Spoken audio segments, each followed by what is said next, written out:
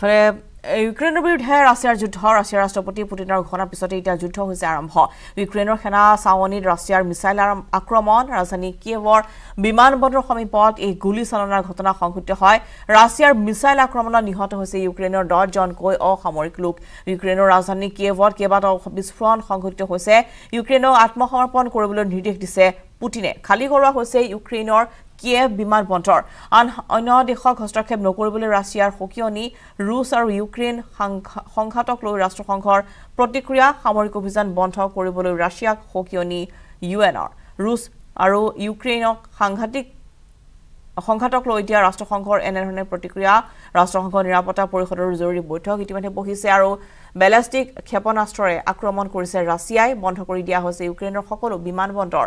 ইউক্ৰেইনত আছে প্ৰায় বিছ হাজাৰ ভাৰতীয় লোক উদ্বিগ্ন হৈ পৰিছে। এতিয়া ভাৰতীয় বৈদেশিক মন্ত্ৰণালয় শান্তি আলোচনাৰে সমস্যা সমাধানৰ আহ্বান জনাইছে। ভাৰতে আনফালে ৰাছিয়াক সকিয়নি প্ৰদান কৰিছে আমেৰিকাই। ৰাছিয়াক সৈন্য আঁতৰাই আনিবলৈ আমেৰিকাৰ সকিয়নি পৰিণাম ভুগিবলৈ সাজু থাকক। ৰাছিয়া এয়া সকিয়নি আমেৰিকাৰ।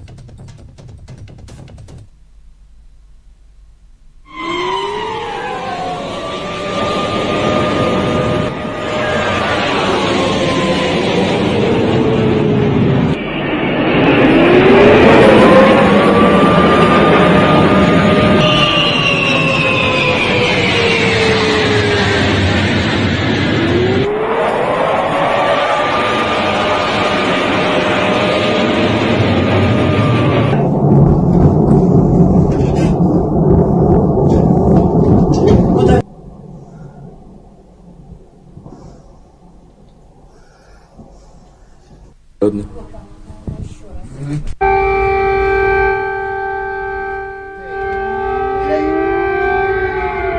Direi che è una marcia generale, eh, per chi ancora non si fosse svegliato e non sapesse più questi bisogna dare una cosa.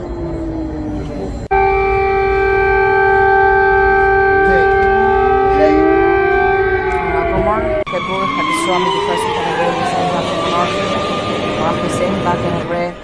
যুদ্ধ বিমানেৰে ৰাছিয়াই আক্ৰমণ কৰাৰ বাবে এতিয়া সাজু হৈ পৰিছে ইউক্ৰেইনক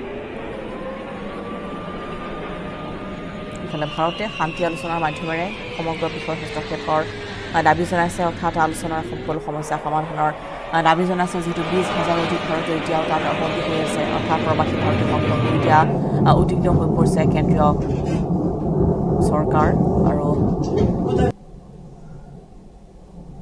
ইউক্ৰেইনৰ সকলো বিমান বন্দৰ বৰ্তমান বন্ধ কৰি দিয়া হৈছে।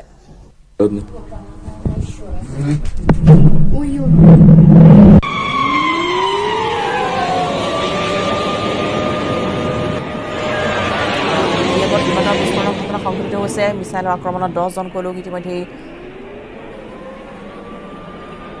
আহত হোৱাৰ খবৰ লাভ কৰা গৈছে।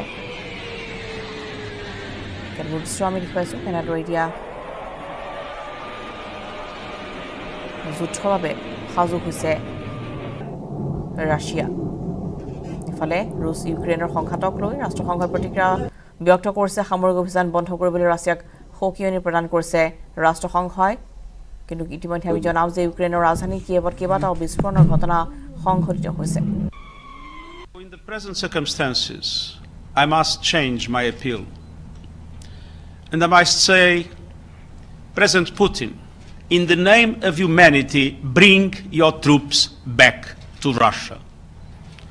In the name of humanity, do not allow to start in Europe what could be the worst war since the beginning of the century with consequences not only devastating for Ukraine, not only tragic for the Russian Federation, but with an impact we cannot even foresee in relation to their consequences for the global economy in a moment we are, when we are emerging from the COVID and so many developing countries absolutely need to have space for the recovery, which would be very, very difficult with the high prices of oil, with the, the end of exports of